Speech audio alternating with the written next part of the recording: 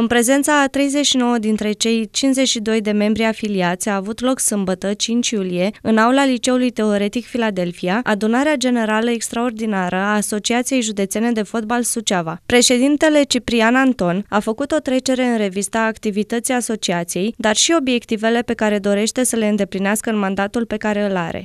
V-am promis încă de la începutul venirii mele în această funcție că vreau să-mi desfășur activitatea de șef al Asociației Județene de Fotbal Suceava, cu profesionalism, cu echidistanță și cu bună credință. Consider că profesionalismul este singura noastră șansă, chiar dacă nu ultima, pentru a ne construi o identitate puternică și pentru a ne individualiza între celelalte sporturi locale. Avem nevoie de profesionalism într-o perioadă în care fotbalul a fost asociat prea des cu corupția, cu proasta creștere și cu investiții financiare falimentare. În acest sens, împreună pe care, cu echipa pe care o conduc, ne-am focalizat în aceste prime trei luni asupra unor elemente care să ne confere câteva repere din controlarea viitoare noastre identități. Am urmărit în acest sens să câștigăm un plus de imagine și credibilitate la nivel local și național, iar organizarea premieră la Suceava Cupei României la fotbal feminin este un eveniment care stă mărturie în acest sens. Consider că participarea celor aproximativ 2000-2500 de spectatori, dar și expunerea mediatică în ziarele, radio și televiziuni locale, sunt indicatori concreți pe care, care arată o bunățire a imaginii AJF în rândurile iubitorilor de fotbal local. Dacă mai adăugăm aici și mesajele pozitive venite din partea Federației Române de Fotbal, precum și a participanților care urmare organizării la asociava acestei competiții, putem să spunem fără să greșim că asociația noastră este la momentul în care, fără a fi neapărat o certitudine, este o asociație care promite să fie credibilă. Asta este scopul, ne dorim să fim credibili.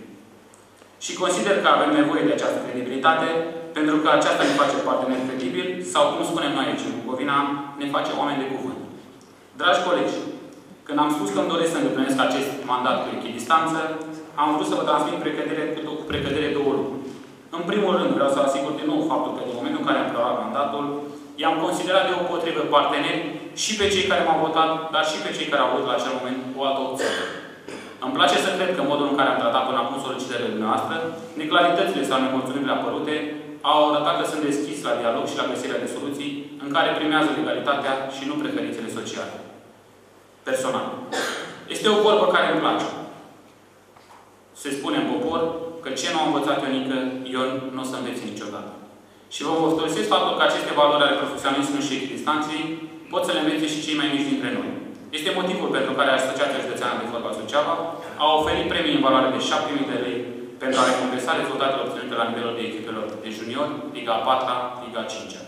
Îmi doresc ca acești copii să crească, știind că valoarea este recunoscută. Și chiar dacă doar simbolic, valoarea este întotdeauna și recompensată. În aceeași direcție sunt și premiile de 4.000 de lei, oferite Cupei României, dar și cele 500 de mici achiziționate care vor veni către membrii afiliați. Îmi place să cred că acțiunile inițiate în aceste trei luni ne-au făcut mai credibili. Finanțările obținute, obținute 10.000 de lei la firma Radius, respectiv 15.000 de la Consiliul Județean Suceava, prin proiecte, sunt dovezi concrete în acest sens. Sunt convins că banii au venit pentru că proiectele au fost de interes public, pentru că au urmărit să popularizeze comportamente sănătoase pentru regiunea noastră. În același timp, consider că obținerea acestor fonduri este și rezultatul faptului că am acționat, așa cum îmi doresc să acționăm și de acum înainte, cu ceea ce numesc eu bună credință.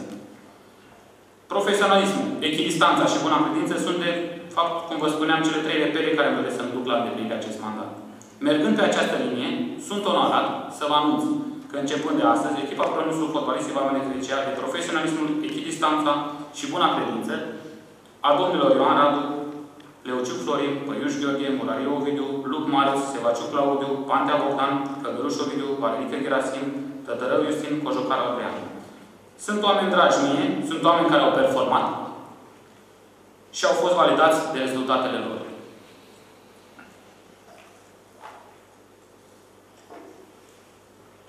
Sunt oameni alături de care îmi doresc să construim și să arătăm că mișcarea sportivă în general și fotbalism în special poate să transmită un mesaj foarte puternic pentru societatea în care trăim. Management profesionist, valoare și, nu în ultimul rând, cum spune și sloganul pe care am plecat la acest drum, să punem fotbalul pe primul loc.